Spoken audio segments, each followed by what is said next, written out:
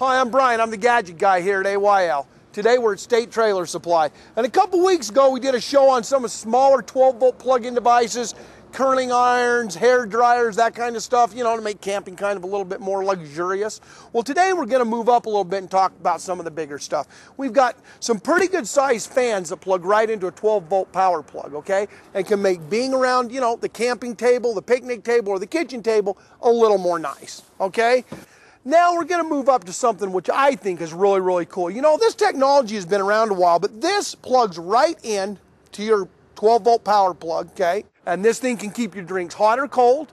It can be an oven inside for heat or cold. And you know, it only drops 30 degrees below ambient temperature, but if you're in a cold enough spot, you can make ice, okay? This is pretty cool technology. Also fits right in between the seat of your truck, and you never know when you're gonna need it.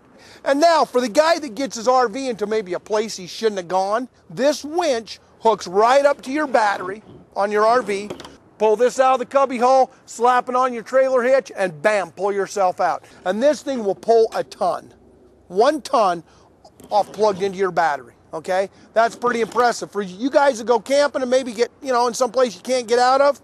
Perfect just to have in the cubby hole of your RV. So some pretty cool products to make camping a little bit more fun. All right, I'm Bryan. I'm the gadget guy. If you have any great ideas, email me. Till then, we'll see you next week.